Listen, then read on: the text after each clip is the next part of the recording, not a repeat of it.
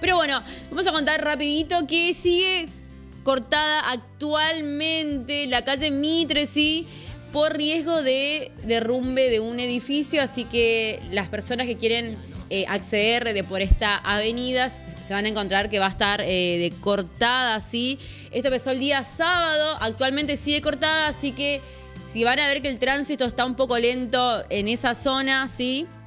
Estamos hablando del edificio de Sofía a la altura de la calle San Luis, casi Junín sobre Mitre, ¿sí? Fueron evacuados eh, por riesgo de derrumbe del mismo. A su vez, el carril que se encuentra enfrente de la edificación se mantiene restringido para la circulación de vehículos y ciudadanos, ¿sí? Y cuidados por agentes de tránsito, ¿sí? Esta decisión fue tomada luego de que una de las vidrieras de la planta baja de la construcción estallara sin motivo aparente y los marcos de la misma se doblaran.